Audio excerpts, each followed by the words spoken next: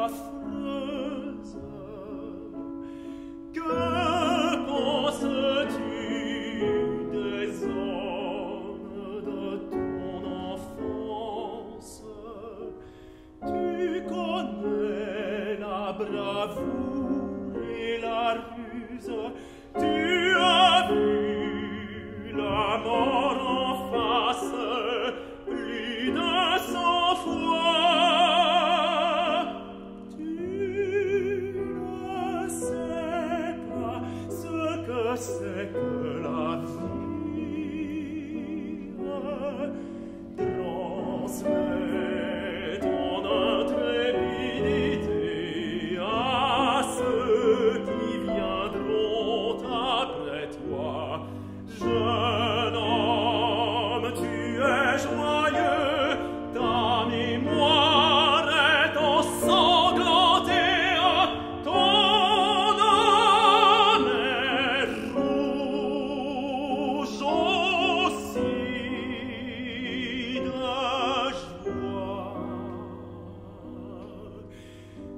Tu as absorbé la vie de ceux qui sont morts près de toi.